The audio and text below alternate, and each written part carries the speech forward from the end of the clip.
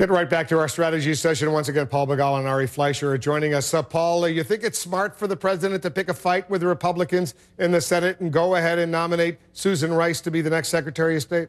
Well, it's, uh, it's his obligation as president to pick the person he thinks would be best. And if he decides Ambassador Rice would be the best, and I think the tea leaves are pointing there, then he has a duty to nominate her.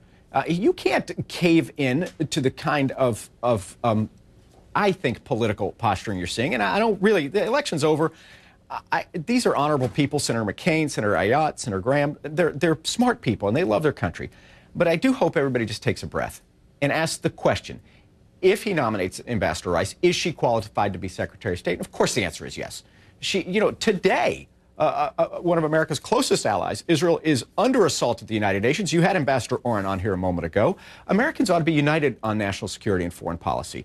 And this is a time we ought to be united. I just don't see any gain, frankly, for the country, and certainly not for the Republican Party, in attacking Ambassador Rice. What do you think, uh, Ari?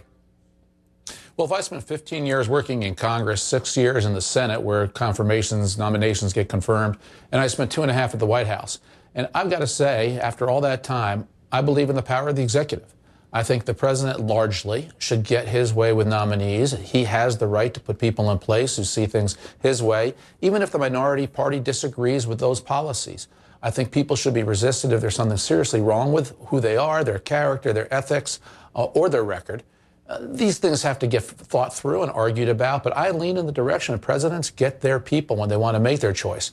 It would be a fight, it would be a slap. And I can see on the one hand, it goes back to your previous question, Wolf. If the president actually does meet Republicans in the middle and reforms entitlements, acts as a moderate, governs as a moderate, then he can fight for his base on some other issues and pick a fight on Susan Rice. It all sort of does come together. So I would not begrudge him for doing that. But if he governs as an obstructionist to Republicans on everything, we're going to get nothing done over the next several years. It would leave an opening uh, if he doesn't pick Susan Rice, Paul. A, a crass political question. Uh, uh, if he were to name John Kerry, for example, the senator from Massachusetts, as his Secretary of State, and he would be confirmed, presumably, uh, would that open the door for a Republican to be the next senator, though, from Massachusetts? I'm sp speaking about the current senator, the outgoing Senator Scott Brown, who's still pretty popular there. Well, he is popular. That's a great point. I know he but he is a formidable political talent. I honestly have no idea if that's playing a role in, in these deliberations. My best guess is, I mean, clearly John Kerry is qualified to be the Secretary of State as well.